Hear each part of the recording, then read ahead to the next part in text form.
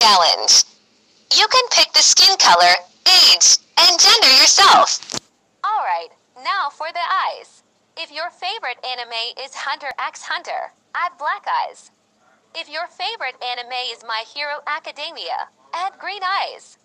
If your favorite anime is Attack on Titan, add brown eyes. If your favorite anime is Naruto, add orange eyes. If your favorite anime is anything else, add blue eyes. Now for hair. If your favorite anime character is male, add long hair.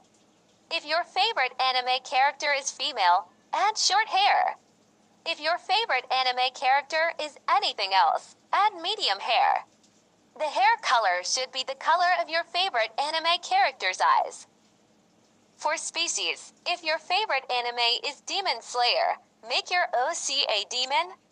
If your favorite anime is Tokyo Ghoul, make your OC a ghoul.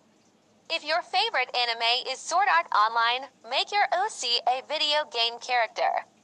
If your favorite anime is anything else, make your OC human.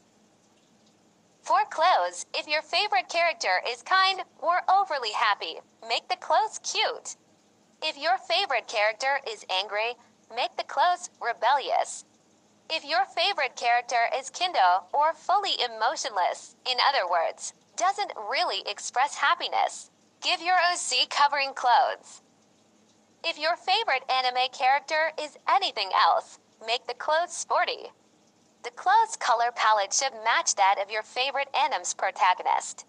For accessories, if you're a girl, add freckles or blush. If you're glasses or earrings. If you're anything else, add a scar. You can choose head accessories yourself. Base the accessories color of your favorite My Hero Academia character.